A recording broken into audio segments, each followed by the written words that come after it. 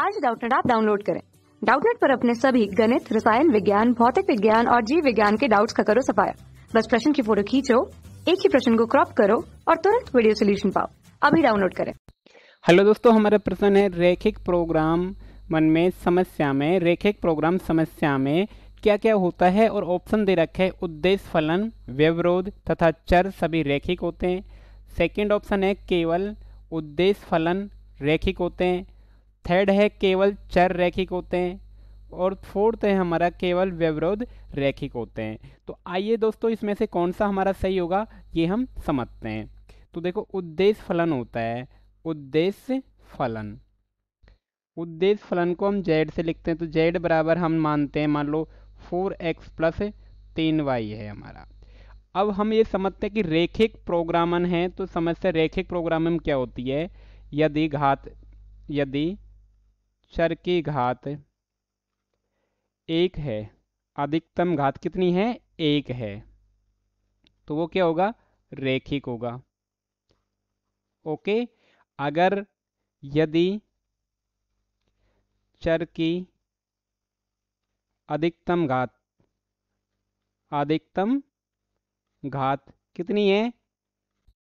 कितनी है? अगर दो है तो क्या हो जाएगा?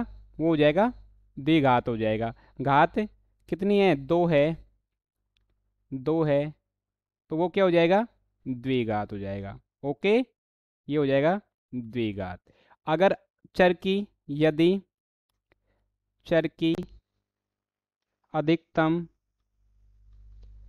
अधिकतम घात तीन है तो ये हो जाएगा त्रिघात। त्रि घात हो जाएगा। ओके? तो चर की अगर घात एक है, कितनी घात? एक है घात।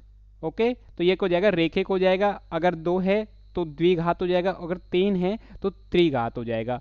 और हमसे पूछा गया है कि रेखिक प्रोग्राम है। अब इस समस्या देख लेते हैं, इसकी जो प्रोग्राम है हमें सॉल्व करने होते हैं, विवरोध दिए होते हैं, वो होते हैं मतलब two x plus three y less take equal to five है six x plus two y get them equal to ten है तो ऐसी हमें समस्या दी हुई है। तो तो यहाँ पे चर कौन से हैं? एक्स तथा तथा वाई चर हैं। ओके? तो इनकी अधिकतम घात कितनी है? एक्स और वाई की एक है। तो ये क्या हो जाएगा कि ये हो जाएँगे रेखिक हो जाएँगे। हमारा फलन भी किसमें है? देखो, फलन भी हमारा है रेखिक। फलन भी उद्देश्य फलन होता है, वो भी क्या होता है, रेखिक में होता है राइट और हमारा जो ये समीकरण दे रखे हैं होते हैं, ये भी किसमें होते हैं, रेखिक में होते हैं ओके तो हम कह देंगे, हमारा कौन सा ऑप्शन करेक्ट हो जाएगा? फिर उद्देश्य फलन और व्यवरोध तथा चर, सभी किसमें होते हैं, रेखिक में होते हैं ओके तो हमारा करेक्ट ऑप्शन हो जाएगा तो नीचे लिखेंगे, अतः रेखिक प्रोग्राम समस्या में, रेखिक प्रोग्रामन प्रोग्रामन समस्या में उद्देश्य फलन उद्देश्य फलन, व्यवरोध व्यवरोध तथा चर सभी रेखिक होते हैं। क्या होते हैं? सभी रेखिक होते हैं। तो ऑप्शन कौन सा करेक्ट हो जाएगा? हमारा ए ऑप्शन सही हो जाएगा उत्तर। आशा करता हूँ दोस्तों समझ आया होगा। धन्यवाद। कक्षा छठी से बारहवीं से लेकर NEET I I T JEE वो एडवांस के लेवल तक। एक करोड़ से ज़्यादा छात्रों का भरोसा। आज ही डाउनलोड करें। डाउट नेट ऐप या व्हाट्सअप करें अपने सारे डाउट्स आठ चार सौ चार सौ चार सौ पर।